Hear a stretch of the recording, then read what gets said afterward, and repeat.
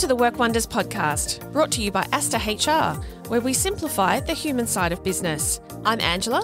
And I'm Susan. Let's dive into today's episode and find out what you've been wondering about.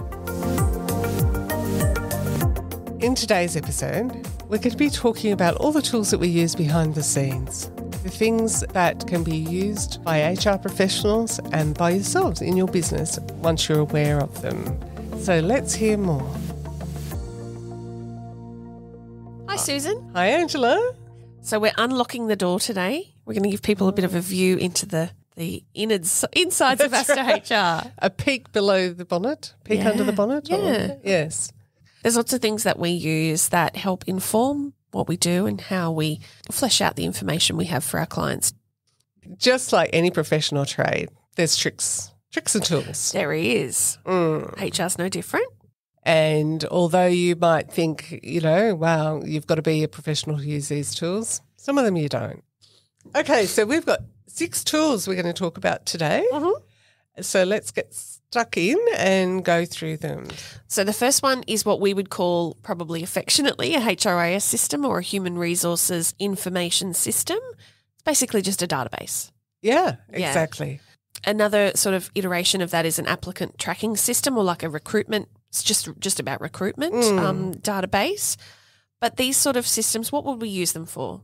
Everything, if we can. I mean, this is a way of out, outsourcing our brains, basically.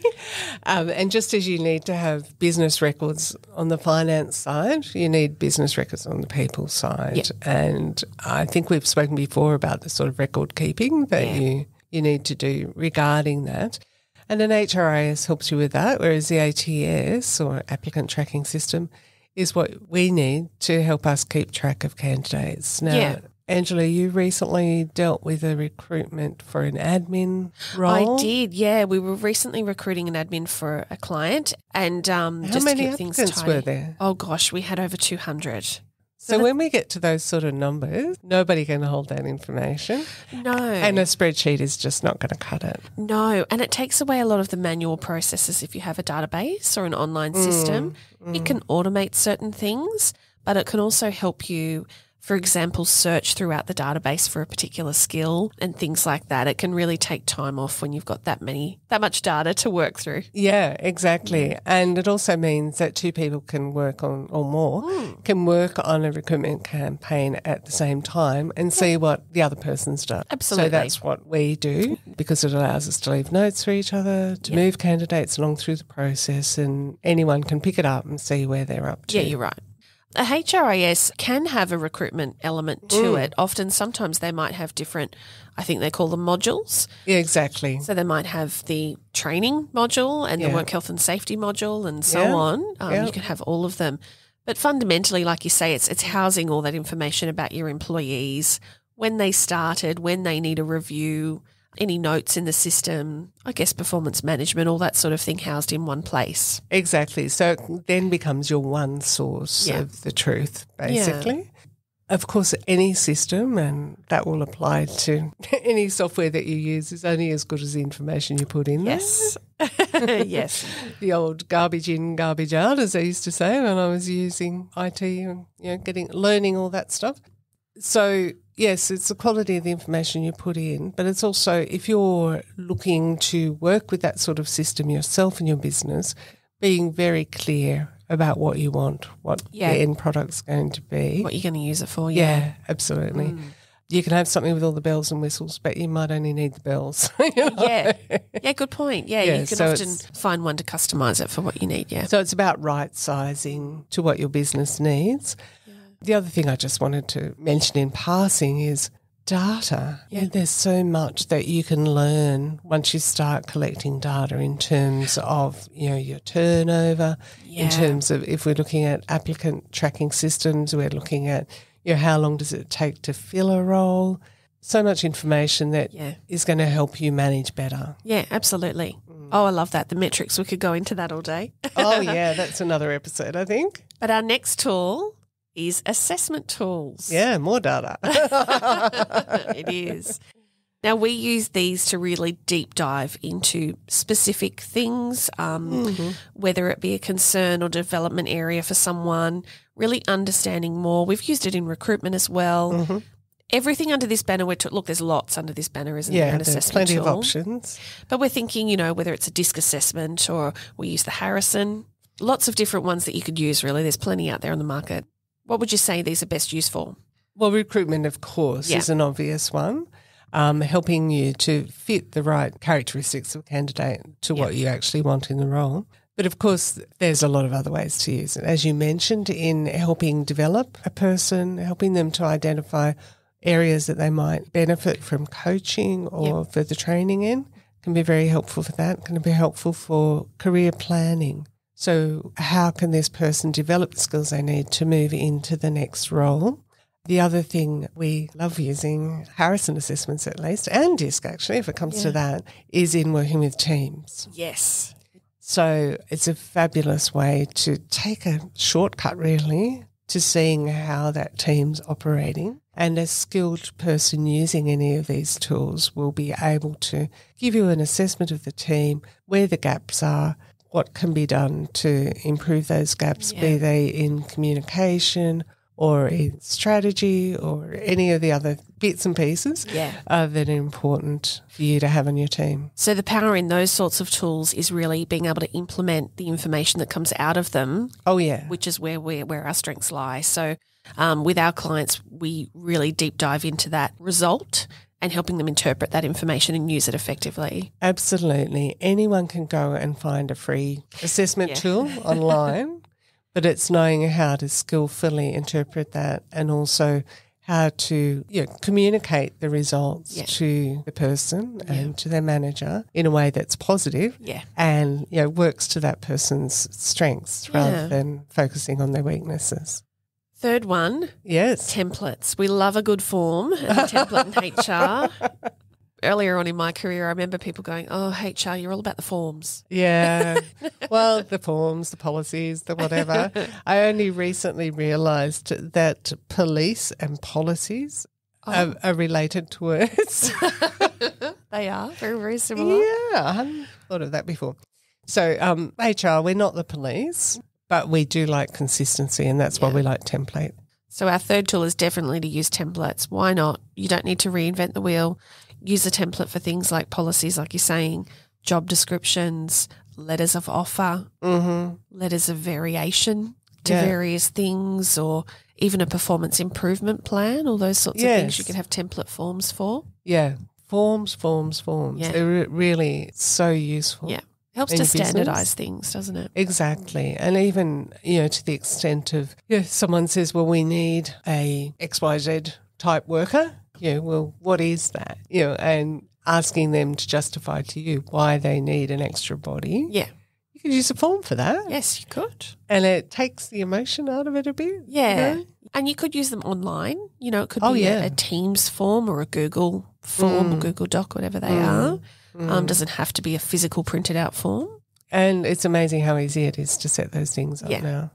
And with things like a job description, it helps to standardize. Let's say you wanted to always include, you know, everyone needs to follow the policies and procedures or everyone needs to, you know, help contribute to a safe workplace. Mm. Those sorts of things that are going to be for everyone to look after. If that's put in a template, job done. You don't have to keep remembering to Saves do you so much time. time. And even on um, job advertisements. Yeah. A template for your job That's ads true. so that uh, candidates get a consistent message about the organisation. Yeah. So go the template. Yeah. Did you know that we have lots of free resources available to you on our website? Things like templates that you could download, or a checklist for a process, or even recordings of our previous workshops. If you're looking for help in a particular area or just some inspiration, check out the resources page on our website, asterhr.com.au. And now it's back to the episode. The fourth tool we wanted to talk about today was timesheet software. Mm-hmm. Angela's the expert on payroll and timesheets and all things related, and I'm always happy to hand over to her to talk about that. Well, look, payroll can be really complex. Especially when you're thinking about someone like a shift worker. Mm-hmm. So our shift workers are people that their hours are up and down from week to week and it changes. But more importantly, their pay rates or penalty rates sort of change depending on what day of the week or what time of the day they're working. So that can be really hard to store all that information just even from week to week, especially if you have like more than one or two staff, that can be really full on. So a timesheet software will take all that off your hands. Okay. So ideally, employees would log in, Yep. you know, with a mobile device or whatever it be, and they would clock in and clock out, or they can record their times. But it basically integrates with your award. It can integrate with your payroll software to make for a really smooth transition of all that information, so nothing's missed. So all those rates are already built in. Yeah. There's no manual calculations. Yeah, Yeah. yeah. So that works out better for the staff Yep, absolutely. And if they've and got for your business owner. Yeah. Yeah, absolutely. And if the employees have access to that system or, um, you know, even leave management, pay slips to update their contact information can all be housed in that system. So it's really helpful that way as well. So to listeners who might be using manual sh- timesheets Yeah. now to do that and waiting for the staff to get Yep. the timesheet in, and there's always that hassle of trying to get that done. I'm hearing that you would recommend a digital solution for I would, yeah. Just explore what's out there, what you're currently using for payroll, and if there's something attached in that system or whether you need Yeah. something more sophisticated. And uh, and yeah, they're, they're not too expensive either. You pay per user usually, Mm-hmm. um, but they're usually pretty reasonable. Yeah. And I'll also flag that the first systems that we were talking about earlier, the HRIS, some of them come with that option Oh, yes, already built in. What are we up to? Five? Yeah. Okay. Our fifth one. Well, more and more people are working remotely. That's no surprise. Like us. Yes, we are. Mm-hmm. Um, so, do you have a tool to keep teams communicating and keep them collaborating? Do you think most businesses do use them now? I would hope so. So, you know, if you're looking at something like Teams Yeah. or Slack or Asana Yep. Um, to manage projects, there's, there are so many different team collaboration apps out there. Since I started working with Angela and Aster HR, we're in the whole Microsoft Yep. environment. So there are so many tools in there, but I'm I'm reluctant to plug just Microsoft okay. because there are other options uh, around. But I think it is useful uh, to understand the capacity there. So the power for it, I think, lies within being able to communicate in one place um, and having a tool that allows very simple communication to happen. I think we chat quite often in the system that we use. Um, I know we can even add on certain things to sort of give each other a kudos or Yeah. you know feedback or whatever it is um, to sort of bring a bit of lightness to the to the team arena as well. And being able to call via we the can, app, yeah, set up a meeting in real time if Yep. we need to discuss something. Yep. And of course, sharing files. Yes, I was going to say, and keeping track of things that we're both working on. If there's a particular project, keeping our um, a sort of strategy of what steps we need to do next. Yeah. Yeah. yeah, keeping that in the same place for each other. So we've got our files together, our communication, and also our project planning, Yeah, yeah, such as for this podcast. yeah. It's got its own plan set up that we can both edit Yep. that information to. So there's a lot of different ways of improving that collaboration Yeah. with the team. And also, I've, well, of course, vital is the calendar. Oh yes, yeah, And also using the calendar effectively so that you know where people are. Mm. So being able to share calendars and so you know when you can talk to someone, when you can't, yeah. etc. Our system even shows when you're on the phone or if you're just busy in a meeting or whether you're free. Yeah. Um, so that's handy as well to know whether it's okay to call someone just quick and those sorts of things can really go a long way for remote teams. Yeah. So it feels like we're raving on a bit about this, but it's something we use every single Yeah. day. And if you need help with looking at you know how you could collaborate better with your remote teams um, and communicate better with them, then we'd be happy to help out. Yeah. All right, we're nearly there. I think we've got one more we can offer. Oh yeah, onboarding or a training system. And again, this might link back to a HRIS. Often they have that but you could have it separately. Yeah.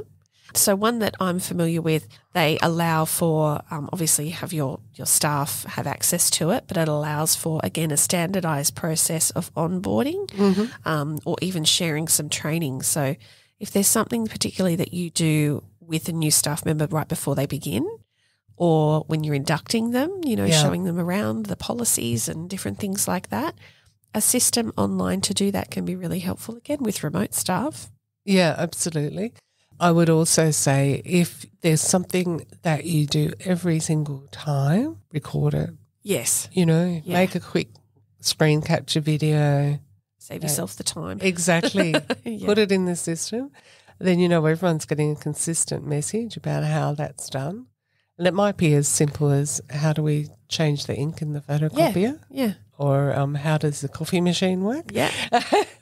Which are important. both essential things to know when you first start in a role. Or how to access your payslip. Yeah. Things like that. Good Really one. basic things. Yeah.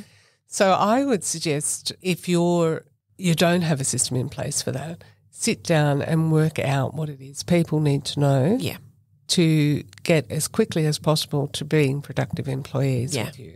And that will save you both time and money because they'll get up to speed faster, so they'll be more productive faster. But it'll also diminish the time that other people have to spend showing them how to do things. It's about not having to do the same thing over and over Yeah. again and saving yourself that time. So that's a good one. Yeah, make it easy on yourself. Well, has any of that been of help for you today? Uh, Maybe there's one that you're already using, maybe all of them. As you can see with these systems, there's a lot of benefits to be had if you want to implement one or all, all of them.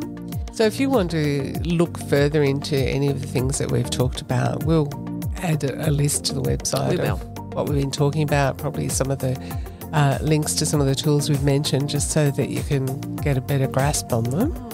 So that's a little sneak peek into our world, isn't it, Susan? I guess so. and if you're thinking any of that can help you, yeah. Then get in touch. Yeah, please do. You can reach out to us on asterhr.com.au and book a call with either Susan or I.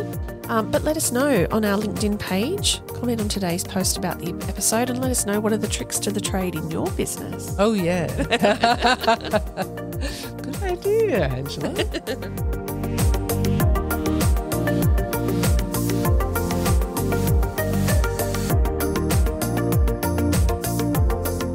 for listening to the Work Wonders podcast, brought to you by Aster HR. Hit the subscribe button now to never miss an episode. And if you'd like to continue the conversation with us, you can find us over at asterhr.com.au. See you in the next episode.